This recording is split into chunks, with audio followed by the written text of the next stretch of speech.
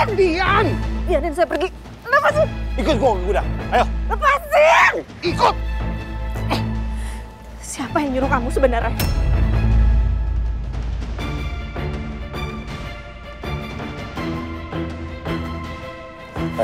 Siapa bos kamu? Lu nggak perlu tahu siapa yang nyuruh gua. Ya? Ayo ikut.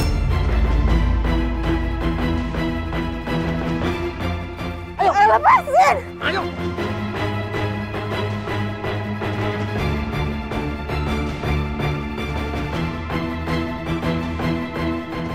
Lepasin! Ayo. Ayo ikut lepasin!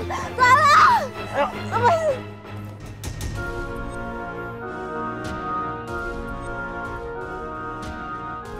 Ngapain Pak Radit datang ke sini? Jangan sampai dia mengacaukan sidang.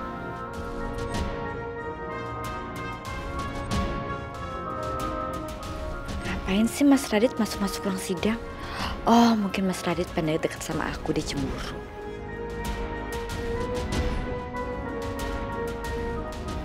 Satu hal lagi. Ketika ibunya anak-anak itu meninggal, kita sama-sama tahu hak asuh seharusnya jatuh ke ayah kandungnya, bukan ayah tiri. Yang mulai bisa lihat, Indah, anak perempuan yang masih kecil. Wajar kalau klien saya Pak Yuda Kurniawan ini merasa khawatir yang mulia. Kalau Ida nantinya akan diperlakukan tidak baik oleh ayah tirinya.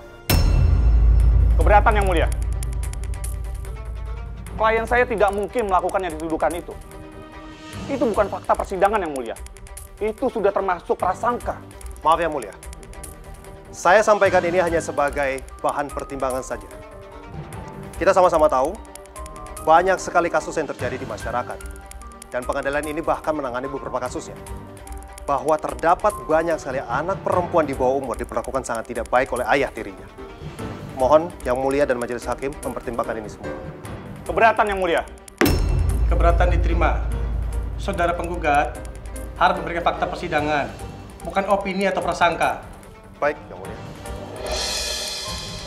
Ya Allah, gimana kalau pihak Yuda bisa meyakinkan hakim untuk mendapatkan hak asuh anak-anaknya? Halo, namanya siapa sayang? Indah. Oh, bonekanya lucu ya? Saudara Raffi, apa saksinya sudah siap? Sudah siap, Pak Hakim.